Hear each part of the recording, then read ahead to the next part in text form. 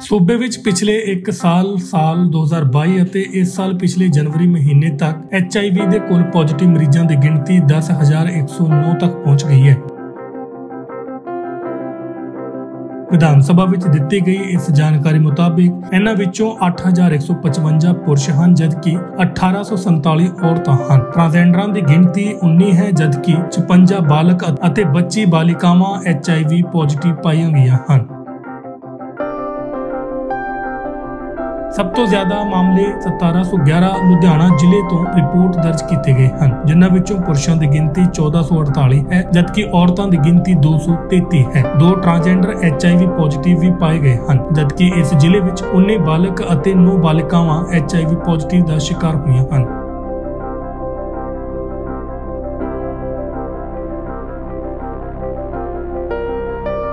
ਦੂਜੇ ਨੰਬਰ ਤੇ ਬਠਿੰਡਾ ਜ਼ਿਲ੍ਹਾ ਹੈ, ਜਿੱਥੇ 1514 ਮਾਮਲੇ ਸਾਹਮਣੇ ਆਏ ਹਨ। ਇਸ ਜ਼ਿਲ੍ਹੇ ਵਿੱਚ 1281 ਪੁਰਸ਼ ਅਤੇ 225 ਔਰਤਾਂ ਐਚਆਈਵੀ ਪੋਜ਼ਿਟਿਵ ਪਾਈਆਂ ਗਈਆਂ ਹਨ। ਇਸ ਜ਼ਿਲ੍ਹੇ ਵਿੱਚ 4 ਬਾਲਕ ਅਤੇ 2-2 ਬਾਲਕਾਵਾਂ ਅਤੇ ਟ੍ਰਾਂਸਜੈਂਡਰ ਐਚਆਈਵੀ ਪੋਜ਼ਿਟਿਵ ਪਾਏ ਗਏ ਹਨ।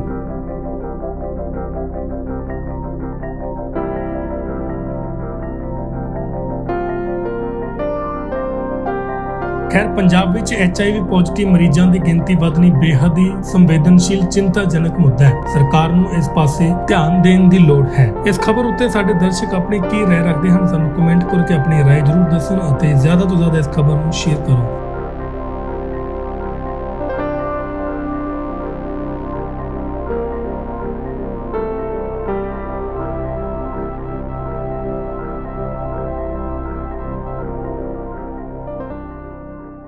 ਦੇਸ਼ ਦੁਨੀਆ ਦੀ तमाम ਖਬਰਾਂ ਨਾਲ ਜੁੜੇ ਰਹਿਣ ਲਈ ਸਬਸਕ੍ਰਾਈਬ ਕਰੋ YouTube ਤੇ ਸੱਚ ਕਹੂੰ ਪੰਜਾਬੀ ਚੈਨਲ ਇਸ ਦੇ ਨਾਲ ਹੀ ਬੈਲ ਆਈਕਨ ਦਬ ਕੇ ਪਾਓ ਲੇਟੈਸਟ ਅਪਡੇਟ ਸਭ ਤੋਂ ਪਹਿਲਾਂ